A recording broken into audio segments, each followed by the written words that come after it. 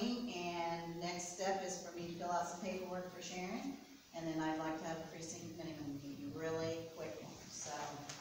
Also, we have, during the precinct minimum meeting, we're going to pass out some Trump signs, we've got Todd Rokita signs there, if you are a candidate, um, Sharon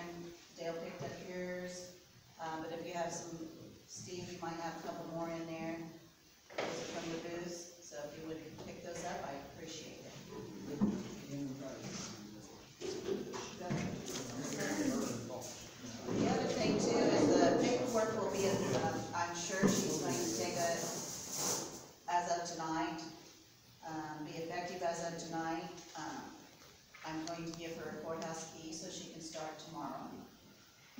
Um, and,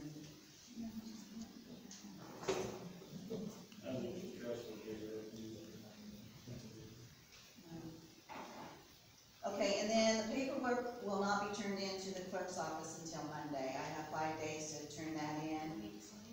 No, but I do need, um, some info for you. Uh, I've talked to the uh, attorneys down at the state election board, and she said everything was fine for you to go in tomorrow and start working. I, I just have to get that there within five days, which you're gonna be there, so you can get a copy then, and we'll go from there, is that okay? Sharon, I asked a question.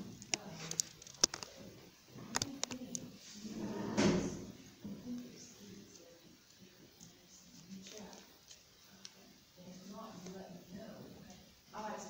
The, the, my signature will be signed by Deb Manier on Monday, so Deb can't be there, it would have to be you, so you're just going to give, you know, administer that.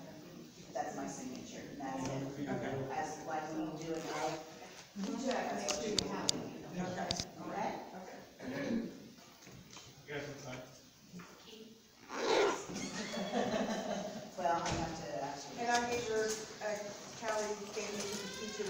that just to. Also, you asked about swearing in. The swearing in is not for us to do, we need Josh, who's one of the judges, okay, but- but I asked her, also asked her about that, she said she's still up on tomorrow.